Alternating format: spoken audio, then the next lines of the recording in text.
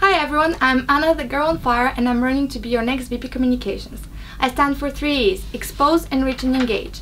I want to expose problems and issues around the university, be it not enough contact time with your lecturers or not enough free computers in the library. Whatever it is, you should be shouting about it rather than just grumbling to your mates.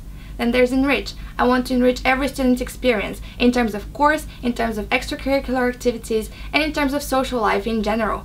It's your university experience, you should be enjoying it.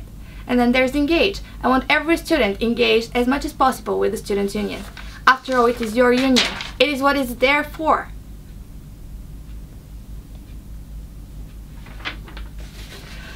So, your VP Communication is responsible for all of that. Do you know that's the only officer who doesn't sit on external meetings and is solely focused on the student experience? You need somebody passionate. You need somebody on fire. So vote the girl on fire. Let's light this place up.